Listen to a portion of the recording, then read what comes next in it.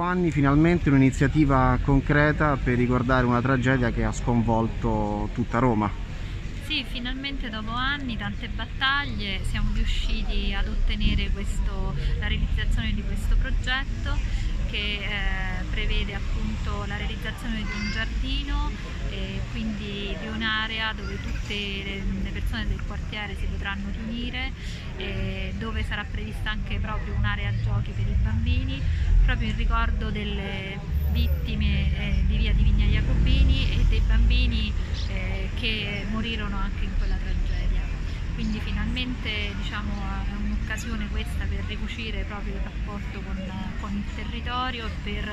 dare una nuova vita, una nuova speranza a tutto il quartiere e un doveroso ricordo alle vittime. Ci siamo sentiti in dovere di eh, presentare un progetto che conciliasse due esigenze, da una parte restituire uno spazio alla cittadinanza ma dall'altra ovviamente quella di ricordare la tragedia più nefasta della storia di Roma dopo la, seconda, la fine della seconda guerra mondiale dove persero la vita tantissime persone e quindi è giusto dedicare quest'area a spatti traffico anche ai bambini così da poter eh, avere eh, conservata la memoria anche per le future generazioni manca però ancora l'istituzione di una giornata vera e propria di ricordo per il quale continuerete comunque a battervi? Assolutamente sì, era una promessa che ha fatto anche l'amministrazione attuale, noi cercheremo di eh, portare avanti anche eh, questa battaglia parallelamente ehm, e sarà quindi un percorso che insieme ai comitati sia Vittime del Portuense che Portuense Vigna Via cercheremo di portare avanti eh, fino appunto all'istituzione della giornata del ricordo per le vittime del Portuense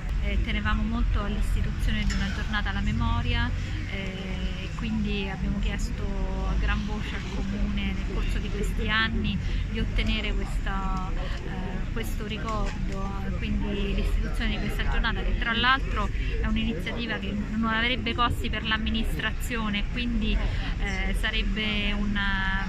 una cosa costo zero e facilmente realizzabile, quindi speriamo di ottenere anche quest'altro quest risultato.